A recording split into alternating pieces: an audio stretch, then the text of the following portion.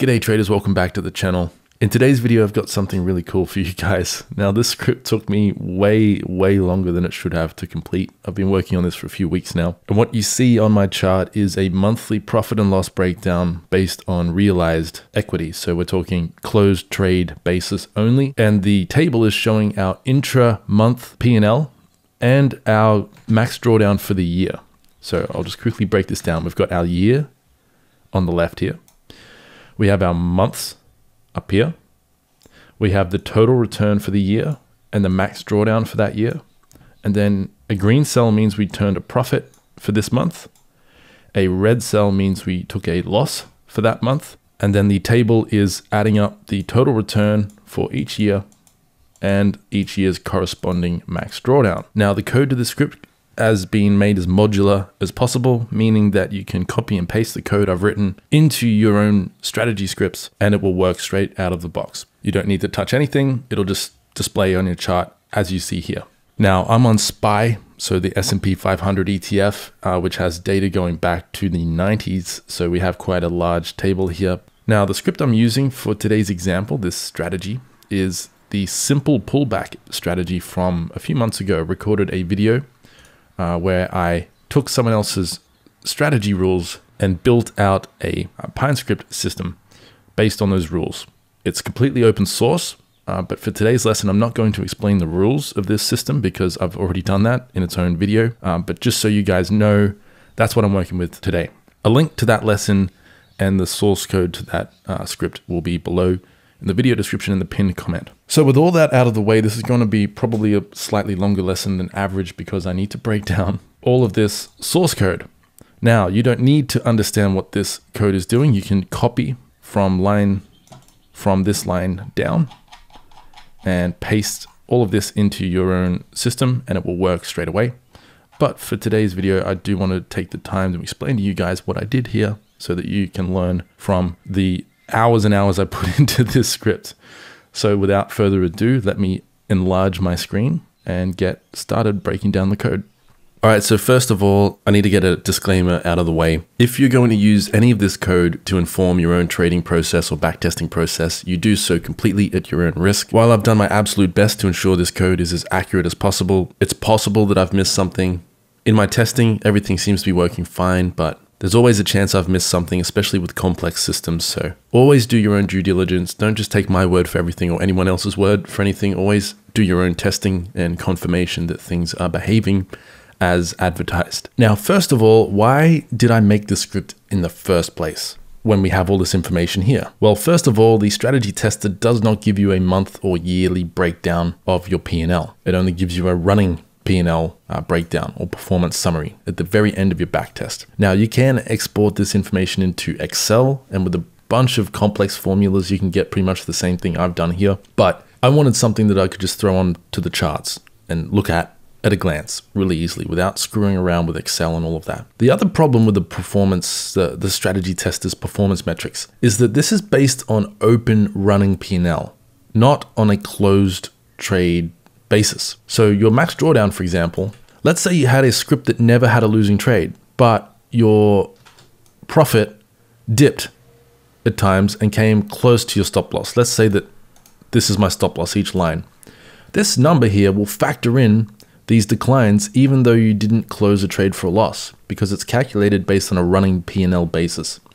Now that's useful for uh, useful information to know, but for me when I'm testing a system, I only really care about how much it lost on a realized basis, on a closed trade basis. And so that's what this table does. It breaks down your P&L on a monthly basis and a yearly basis, and it's based on closed trade equity, not open trade equity, open P&L. Now, with that said, let's get into the source code. Here is the source code to the simple pullback strategy that I mentioned earlier.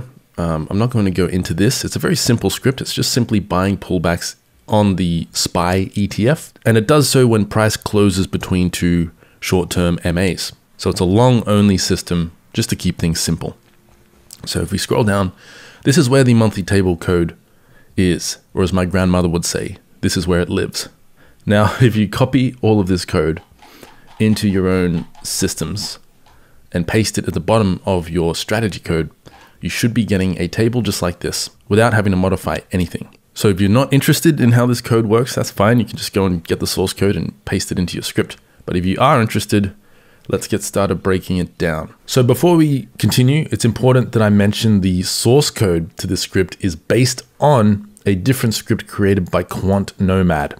And here is a link to their original script code. I have severely, or sig- severely, I've significantly adapted this source code or changed this source code, added to it. Um, so my script barely resembles the original script, but I need to give credit where credit is due. And Quant Nomad laid out the core um, template for this script, particularly the table code. Uh, so go and check this script out if you're curious to see the difference between mine and this one. So first of all, as always, I have a bunch of user inputs. So the user inputs we're working with today in this script are under this label here. So I've grouped them all into um, rows so everything's a bit tidier. We have the on-off switch, which does exactly what you think it does. We have the debug mode. Now debug mode, um, I think I'll leave this in when I publish the source code just because it's there. I might as well. It's off by default. But if you turn this on, now we get, um, let me turn the table off because I've made my screen massive and it's taking up my whole chart now. Um, these debug labels are showing the profit and, uh, profit and loss as a percentage on a closed trade basis. So if I scroll in here, let's look at uh, the month of April. So here's the first trading day of April. So here's the first trading day of May. So the system closed a trade in April for a 1.17% gain, which means if I turn on my table, we should see for the month of April 2023 a 1.17% gain. And if I hover over each cell, there's a tooltip that will tell you the max drawdown for each month and the max favorable excursion for each month. That's what MFE stands for. And that's just a fancy way of saying how much profit did you make in that month versus what you ended up with at the end of the month. So if you had a bunch of winners at the start of the month and then a few losers, the MFE will be higher than the actual monthly return.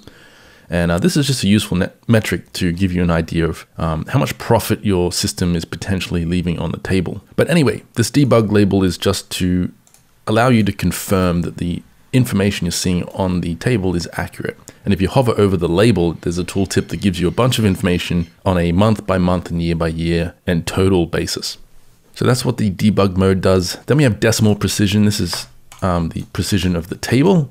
So if I set that to three, we, we now have three decimal places after the full stop, but that is set to two by default because I find that having more than two makes it a bit more difficult to analyze the information here. Um, the script does round these numbers, so they are going to be slightly inaccurate, and that's why I included an option to increase the decimal precision if you need to dive a little deeper into certain numbers. And then all of these here are just formatting colors. So here's the year profit color. I could change that to aqua if I want to. And that's going to change the color scheme of the table. Let's set all of this back to the default settings, turn debug off and get back to our code. So that's the user inputs. After we get our script inputs, I then define a custom function and a few custom types, data types. So this custom function is for getting decimal precision based on a given number. I just said that you can change the decimal precision of the chart itself to three or more decimal places. But you'll notice that some of these cells actually override that setting and have three decimal places, even though I've set it to two. The reason for this is so that any number that falls between greater than zero and less than 0.5, or less than zero and greater than negative 0.05, then we set the decimal precision to three. That's because if we don't do that, the script will round some of these numbers down to zero. And so you'll see on this, for example, this is the cell that I first noticed doing this. Um, because it's 0.004, this was rounding down to zero. And so I had a green cell with a zero in it, and it didn't really make any sense um, to the eye, just looking at the chart, the table.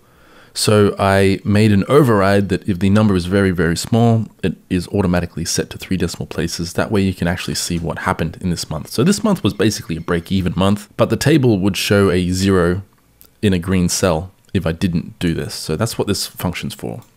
If the number falls outside this range, it just returns whatever setting you've put in here. Next up, we have our custom data types. Now these weren't really necessary. I just did it to keep the script tidy, keep everything organized. So the first type, data type here, is defining an open trades cost, which is used to calculate commission costs on a trade by trade basis. So we have the entry time of the trade, the entry price, and the commission cost. I'll explain how we use this later on.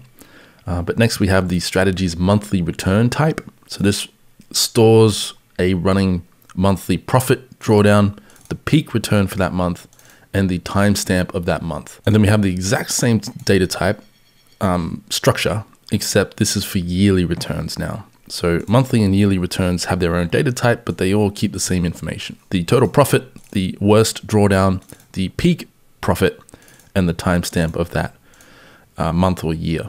So we use these later on in the script. We'll get to that soon. All right, so next up we have a whole bunch of data types here. Now they're all pretty self-explanatory. Um, we have our accumulated monthly P&L, our accumula accumulated yearly P&L, our accumulated total P&L. We have our best monthly P&L and our best yearly P&L. These numbers get stored into these data types at the end of each month or the end of each year. And then um, these data types are put into an array, which we'll get to soon. This is storing the accumulated P&L values, so the running tally for the current month and current year. Next up, we have our drawdown values. So there's quite a few variables here. We have our equity peak. This is a total equity peak for the entire backtest. We have our current yearly equity high and our current yearly drawdown and our year's max drawdown for the current year. Then we have our worst drawdown for the entire backtest period. Then we have our monthly equity high, same as yearly equity high, but for the month, same with current monthly drawdown and monthly max drawdown. So some of these variables are identical to each other, but on a monthly and yearly basis. Next up, we store our long and short trade count. That's just so that we can see, um, where does it say? If I hover over one of these values, here we go. The total return, if I hover my mouse over there, we get a tooltip that pops up telling me my win rate on a long and short trade basis, so different groups. Now this system I have on my chart is a long only pullback system. So it only ever took long trades, and so the win rate for long trades is identical to the overall win rate. But if I had a script that was taking long and short trades, we'd be able to see here how the two different um, directional biases play out in our system. And that is only possible because we track these values here. So we track our total break-even trades, total long trades, total won long trades, total short trades, and total won short trades. And this is all the variables we need in order to generate this entire table. So let's move on to where we start doing the actual calculations. So first we need to store the open trades commission cost in an array. I'll explain why in a moment. It's a little bit complex. It took me a while to figure out a solution to the problem that this solves, um, but we'll get to that in a moment. So the first thing we do in this script is detect an opened trade and save the cost of that trade. So to detect a newly opened trade, a fresh open trade, we check if the current open trades count on the current bar is not equal to the open trades count on the previous bar, and our closed trades is equal, uh, our current closed trades count is equal to the closed trades count on the previous bar because open trades will not match the previous bar's open trades if a trade is opened or a trade is closed. But we only want to detect opened trades. So we need to make sure that we didn't just close a trade, we actually opened a trade. Once we detect this condition, this code gets executed. And this code calculates the cost of the current trade by subtracting the current bar's gross loss, uh, sorry, subtracting the previous bar's gross loss from the current bar's gross loss. Because the trade's just been opened, we haven't actually lost any money yet, but this gross loss will actually factor in the commission cost of the trade. So when we open our trade, gross loss will increase by the commission cost. And so this is how we can detect the cost of the open trade. Then once we have the cost of the open trade, we push a new trade cost type. So that's this type I explained already. We need an entry time, an entry price, and the cost. So we push this new trade cost type into our array using the push function, and we create a new trade cost type with the entry time. So we get the strategy.opentrades list, and we get the entry time of our current open trades count minus one. Now, I know this gets, this gets a bit confusing, but basically, we're getting the most recent open trades entry time. That's what this line of code is doing. It's saying, get me the entry time of an open trade with the open trade index of the last one in the list, which will be the most recently open trade. Um, then we do the same thing for the entry price, exactly the same code, but for the entry price. And then we pass in our cost of trade as well. And that adds the current trade's cost to our array so that later on when this trade gets closed, we can factor in the commission cost of that closed trade accurately. Because uh, remember, each position that gets open is going to have a different commission cost based on how many contracts were traded. So this is the best way I could come up with to track the commission cost accurately. There could be a better way. In fact, there probably is a better way, uh, but this was the best solution I could come up with, and um, it works. So I'm sticking with it until I can think of a better solution. So now this script only takes one trade at a time, but theoretically this code should work with scripts that pyramid, that open multiple positions. That's why I did it this way. I could have made this a lot simpler, um, but I wanted to make it as robust as possible so that it works with all kinds of different systems, not just this system I added to my chart, this simple pullback strategy. So now that we're tracking our commission costs, the next thing we need to do is detect when a trade is closed. This is where the core, the heart of the script is. All of this code under this if statement is where we add up our profit, our loss, our um, all of the data we need in order to populate this table. So to detect a closed trade, it's a lot easier than detecting an open trade. We just need to check if the current bar's closed trade count is not equal to the previous bar's closed trade count. And then what we need to do is track the cumulative profit percent. So if I open the strategy tester and go to list of trades, that's this. See this 0.62%, 0.39%, 1.17%, etc. This is the cumulative profit on a tr closed trade basis. So when the trade is closed, this is how much of a percentage return we made on our account balance. I need to simulate that in this table. And in order to do that, unfortunately, there's no simple way to do this. There's no strategy dot um, cumulative profit list in the um, strategy library. There's no like closed trades dot cumulative profit. I can't do something like this unfortunately. I really wish they had this this function implemented. It would make this script so much easier to code. But unfortunately we don't have that option. And so i need to replicate this formula myself. So i went into the TradingView documentation and this is how they explain um, this is their explanation for how cumulative profit percent is calculated. It's calculated by dividing the trade profit or loss by your initial capital plus the cumulative profit of all the previous trades that your script has taken multiplied by 100 to turn it into a percentage. So the first thing we need to do in order to execute this mathematical formula is calculate our trade profit. To do that, we also need to factor in the commission cost. So that's why we have all this code up here. And so when a trade is closed, the first thing we need to do is retrieve the trade cost for this closed trade from our commission array. So to do that, I create a new float variable called trade cost. It's set to zero. Now, when this trade is closed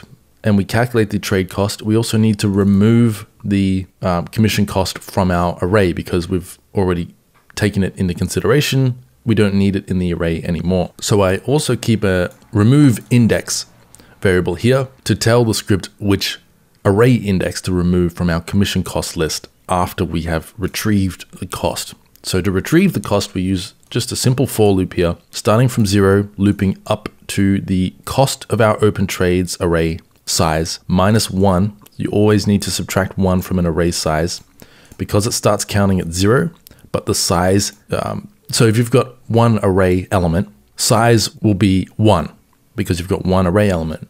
But if you go to reference that array element using the get function, you start from zero. So if an array contains any elements, its size is always going to be one index larger than we can actually reference. So we need to subtract one from the array size when we're looping through an array. Um, so that's what we're doing here. Then we're uh, creating a trade cost type, data type called TC.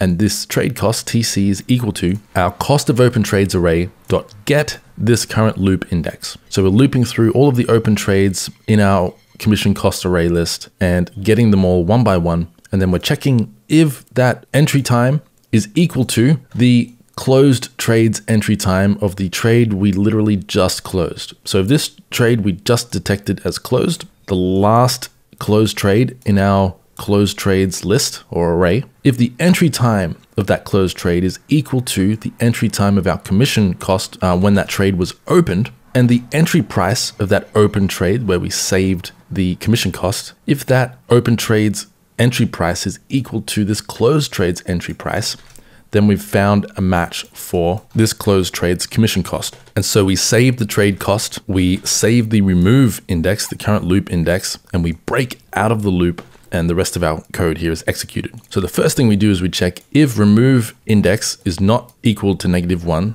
that means we actually found a relevant trade in our closed trade list and we need to remove the commission cost from our array because we no longer need that information. We've already got the trade cost so that we can calculate our cumulative profit percent. So the next thing we need to do is calculate our equity before the trade was closed. Now, I've got a note here that strategy.equity will not do for this because equity, strategy.equity changes on a bar by bar based on open profit and loss, not realized profit and loss. So what that means is if I compare the P&L of, um, let's look, this trade here, closed here. Actually, that's a bad example because it opened here and closed here. Let me find a trade that was open for a few bars. Here we go. So this trade was opened here and on each bar that prints my strategy.equity, so this variable here will change on each bar even though the trade hasn't closed yet.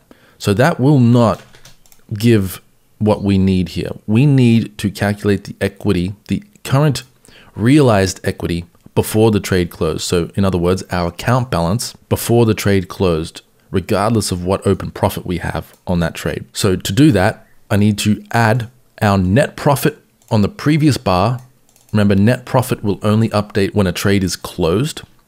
So, we can add the net profit on the bar before our trade closed to our initial capital, the capital we started with, and that will give us our pre trade equity, our account balance before the trade was closed. Now, once we have this, we can now calculate the profit and loss plus the cost of this trade. Now, this is where things get a little bit confusing, and this is something that took me a way too long to figure out. But for whatever reason, gross profit takes into account the commission cost of a trade, but gross loss does not. I can't, I, I don't know why, I couldn't figure this out, but the numbers just did not add up until I did this and I included the trade cost in the gross loss. So that's why I went to all this trouble of tracking the open trades commission cost so that when it comes to calculating the actual P&L for losing trades, we need to add in the trade cost in order to get an accurate number here. So what I'm doing here is I'm checking if our losing trade count is greater than the losing trade count on the previous bar. That means the trade we just closed was a losing trade. And so we need to set profit loss to the current bar's gross loss minus the previous bar's gross loss minus the commission cost of that trade.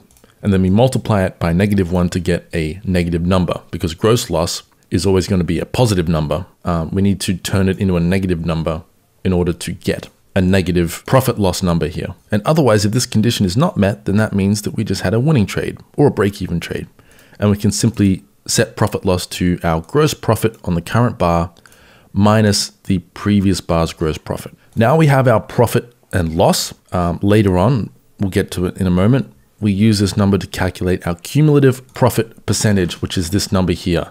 So all, of this code so far is just to get this friggin' number here. And now you can see why this script took so long and why I get a little bit frustrated when I talk about how long it took. So far, we have all the numbers we need in order to calculate our cumulative cumulative profit and loss for each trade as it's closed, not on a running open P&L basis, but on a closed trade basis. So now that we have an accurate profit and loss value to work with, the next thing I do here is just simply check if this trade was a long or short trade and if it won or lost.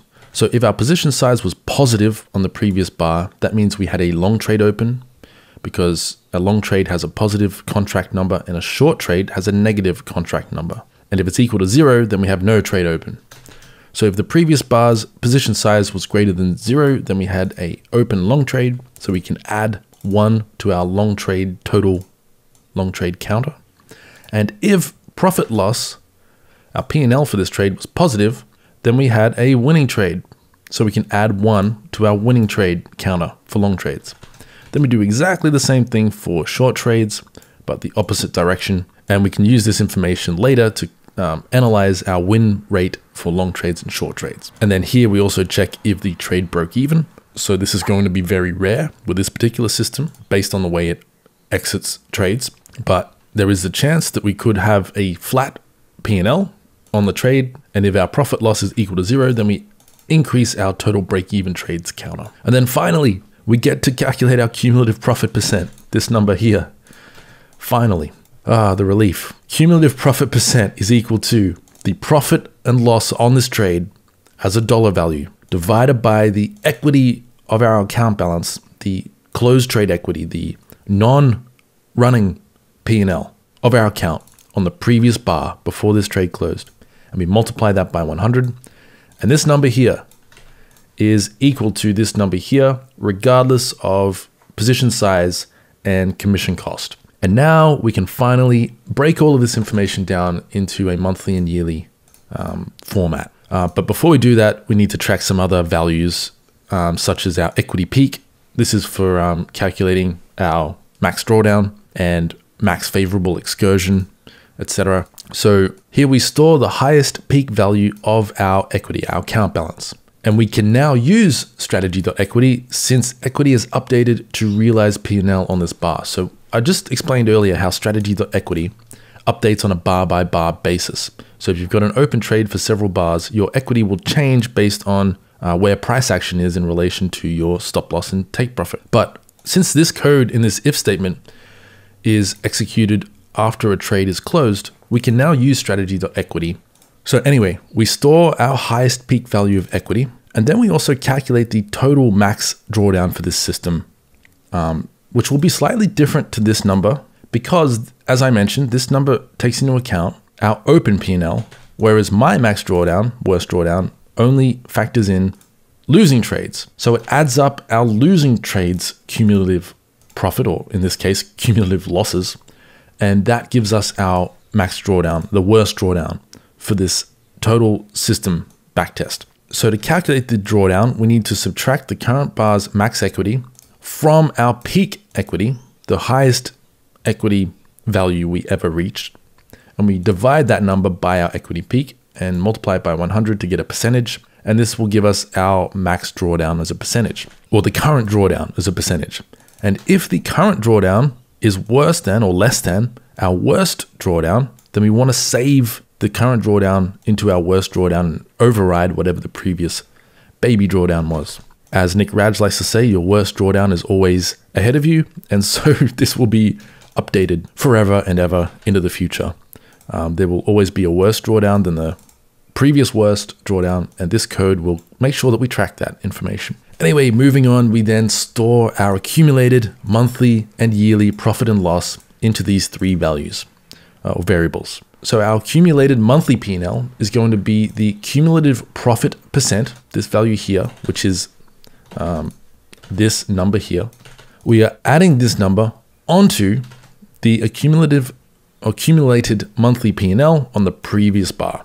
And then later on, when a new month starts, this gets reset to zero, and we store whatever the value this uh, variable was at the end of that month. And this is how we track the accumulated monthly P&L to display on the table. Then we do the same thing for our yearly profit and loss, our accumulated yearly P&L, and our accumulated total P&L. And then when a new year starts, we reset this to zero. And when a new month starts, we reset this to zero and save whatever those values were at that end of month or end of year period. Um, now there's a few more if statements here where we just save some various data performance metrics.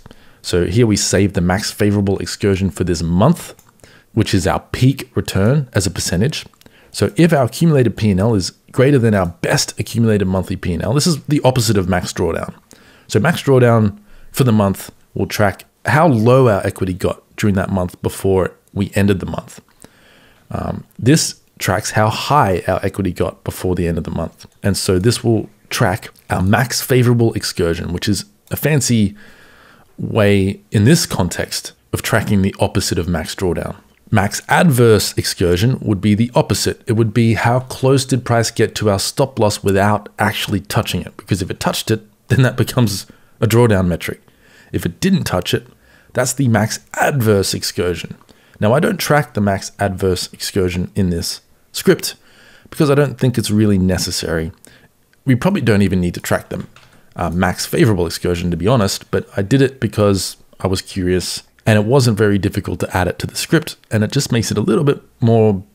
Uh, you know, there's just a little bit more information to work with, so why not? So anyway, we tracked the MFE for this month and the MFE for this year. Then we tracked the max equity high for our total drawdown calculation, the worst drawdown the system has encountered. Then we track the max equity high for the current year so that we can track the max yearly drawdown for this current year. So this is the total worst drawdown. This is the current year's worst drawdown. And then the next thing we do is check if our yearly realized equity high minus the current realized equity exceeds our max drawdown for the year.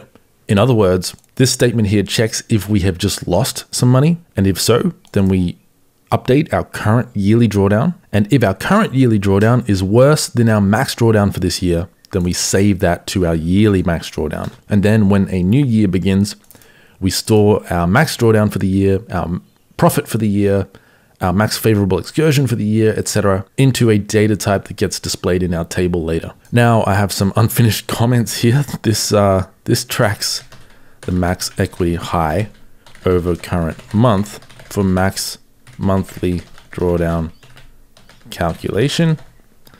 And I can pretty much copy this comment. This does the same thing as that code, but for monthly. So check if our monthly realized equity high minus current realized equity exceeds our stored max down for the month and update if necessary and save worst drawdown. Um, doesn't need to be worst drawdown ever. It's the worst drawdown for that month. All right, so sorry if I lost you there. Uh, all of this code here is identical. It's copy and pasted.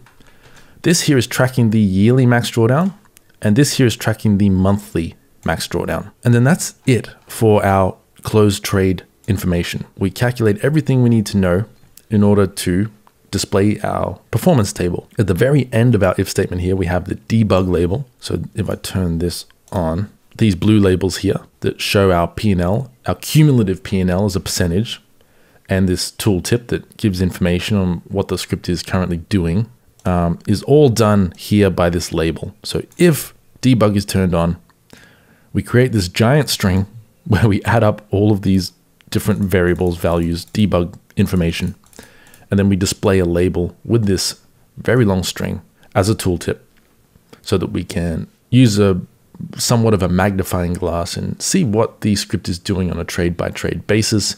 I used these labels to confirm that the performance table was showing accurate information. But this is turned off by default. So unless you run into an issue with the script or you just want to verify that the information is correct, you don't need to turn this on. You don't need to worry about this label. So now moving on, I need to get rid of this test code. Um, that's not needed. Uh, the next thing we do here is prepare arrays to store our yearly and monthly P&Ls. So we have two persistent arrays here VAR arrays. One is storing our monthly returns, one is storing our yearly returns. And the table code at the end of the script will loop through these arrays and display that information as a table. But before we do that, we need to detect when a new month and a new year begins. So new month will be true when the current month's timestamp is not equal to the previous month's timestamp. That means we've begun a new month and same for new year. So now that we have a new month and new year detected, all that is left to do is detect a new month. I need to get rid of this.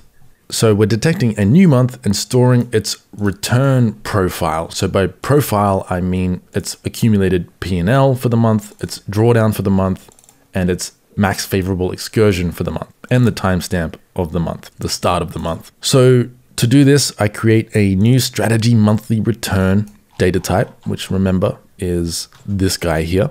And this data type takes a profit, a drawdown, a peak equity, and a timestamp value.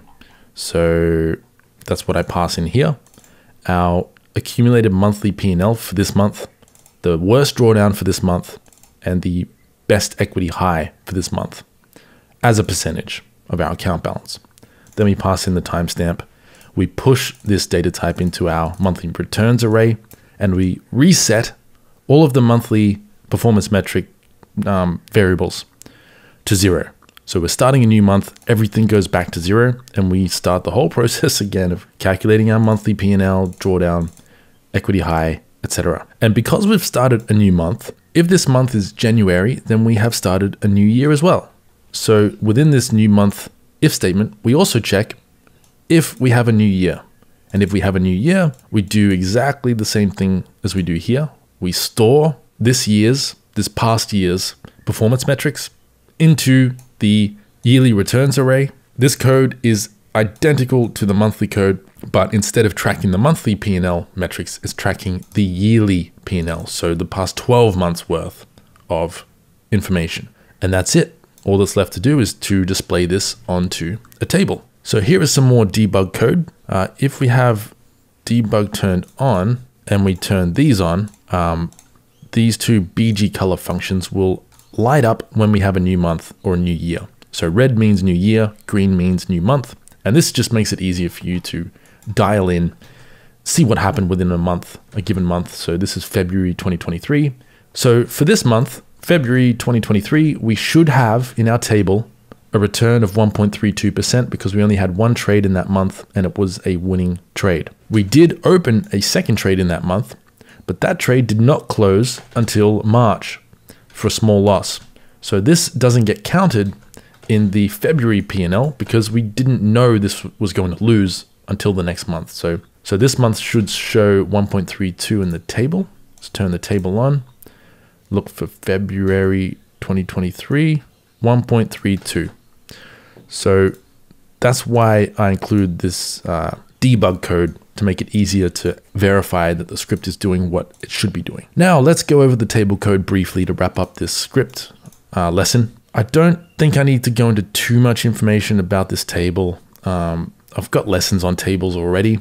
It's not exactly rocket science. It's just a lot of copy and pasted code to format the whole thing. So the first thing we do is define our table data type as performance table. And then if this is the last bar in our chart, then we display our performance table. So if the table is turned on in the settings menu, and this is the last confirmed historical bar on our chart, then performance table is created with 100 rows, which equals 100 years of data, which should be plenty for all markets. Um, you can barely fit 30 um, years worth of data on the chart when your screen is at a normal resolution. But if you're trading a market that has a lot of historical data, I couldn't find a way to only display a certain amount of information. So I tried to write some code that would only show the past 10 years of data or whatever. And I couldn't get it to show accurate metrics down here. It can be done, but it was just so complicated that I just decided against that. I wanted to keep the script simpler. And I, to be honest, to be completely honest with you, I'd spent so much time on the script already. I just wanted to be done with it. Uh, maybe I'll revisit it at a later date when I have less coding PTSD for this project and I can try and add a time based window for this performance table.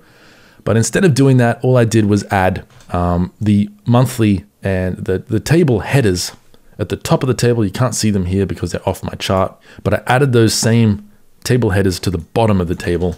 So no matter how big this chart gets, you can still see what each column um, is representing. So anyway, we are displaying a lot of data. Um, I don't think there'll be any market you'll find any data source that will have more than 100 years of data on the chart. In fact, I don't think TradingView will even be able to, to display that many bars, at least not daily bars, maybe monthly bars, but anyway, it's not important.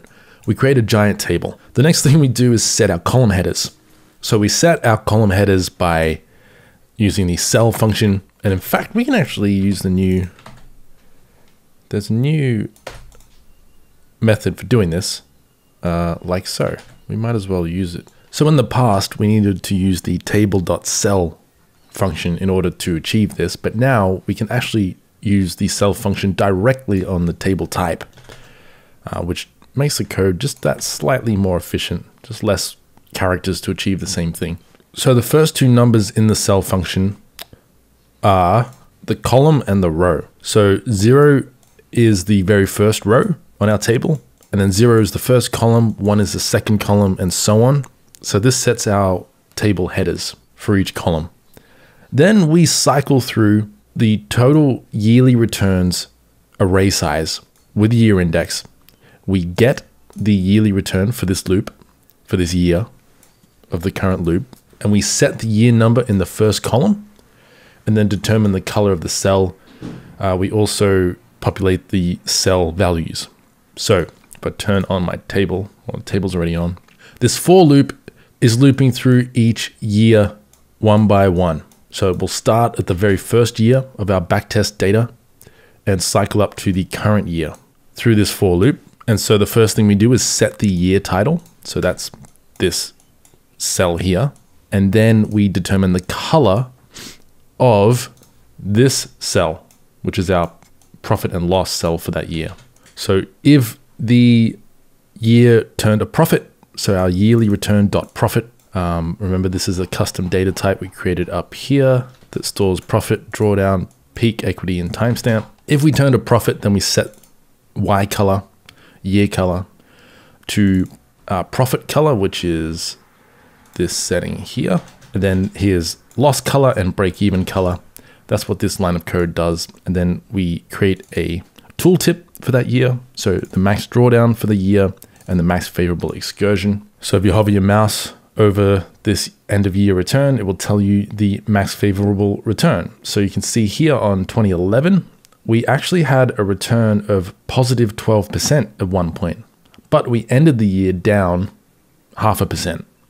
So it's interesting information to know. That means we had a pretty bad uh, turnaround this year. You can see that here. We lost all of our profit in one month, essentially.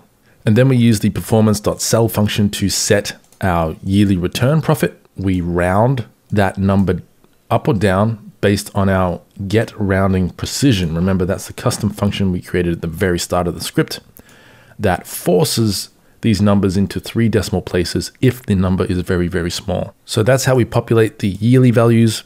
Um, the next thing we do is set our monthly values. We do exactly the same thing. We loop through our monthly returns array we get what year this month fell within.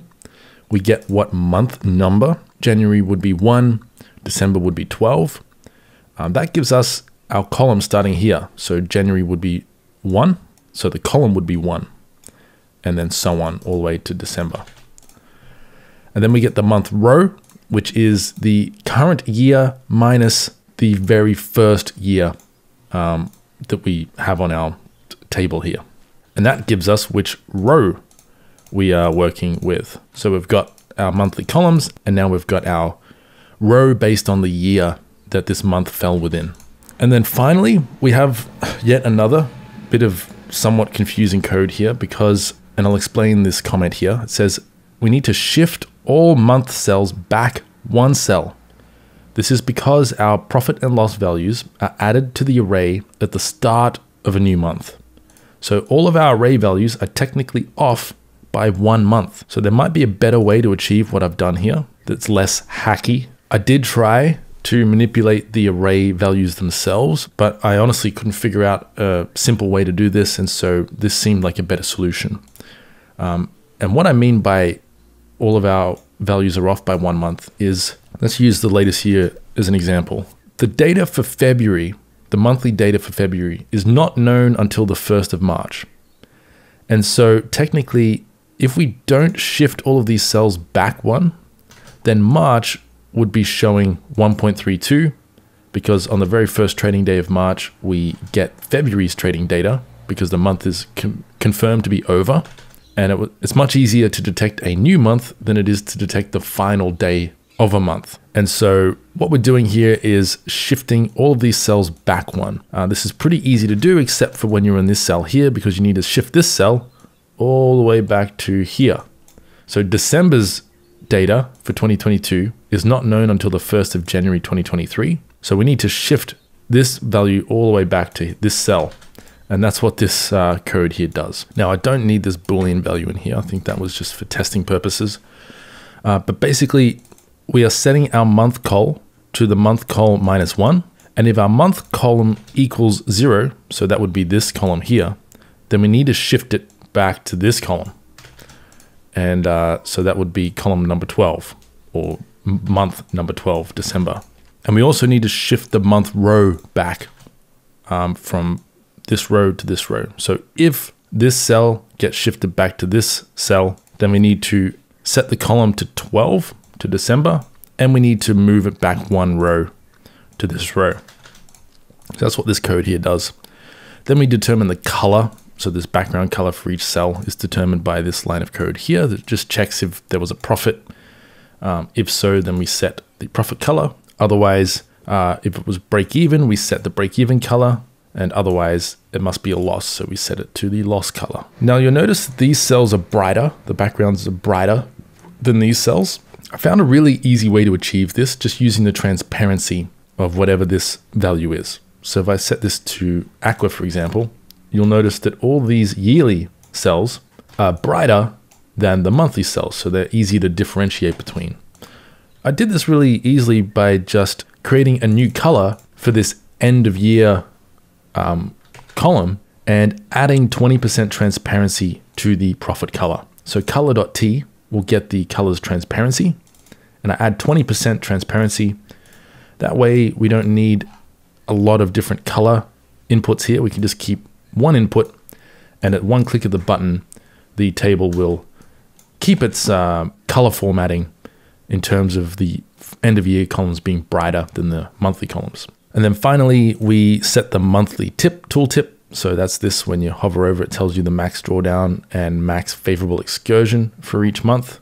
Uh, depending on the system, these numbers could be very different or almost always the same on this system, they're almost always the same, but there will be times when uh, we had a nice profit and then lost some of that profit during the month. Uh, because this system doesn't take many trades during a month, there's not too much of a fluctuation between uh, the P&L for that month. But here on the 0.002, you can see that at one point we were up 0.57%, but we obviously had a winning trade and a losing trade in that month that brought us back down to basically break even. And then finally, if this is the final array element and we haven't completed the year yet, then we need to fill the current year's P&L. So this code here detects if our monthly index, our loop, is equal to the final element in our array, and we are not in December, then we still want to display our accumulated yearly P&L for this year and our max drawdown for this year. So that's what this code does. It just forces the table to display this year's P&L, end of year P&L, even though the year hasn't finished yet. And then finally, we set the yearly table titles last um, because we are shifting all these cells uh, back one uh, cell like this. You know, each first month is shifted back to the December cell. At the top of our table, uh, this method can override our table, can override some of our table headings. So at the end of all of this display code, we set the yearly table titles last. Putting this last fixes my shifting of each monthly cell back one cell, which overrides table titles if they're set before the loop above. And then uh, we calculate the performance metrics based on realized P&L. So that is this information here. We have our compound annual growth rate, our max drawdown for the system overall, our MAR ratio, which is our uh, compound annual growth rate divided by max drawdown. It gives you an idea of how quickly the system can recover from losing streaks. And our total return. And we have tooltips on each value here to explain what each value is. So this is where we calculate those performance metrics. So our percent return is very simple. Um, that's just getting this number here, which is our net profit divided by our initial capital multiplied by 100 to get a percent.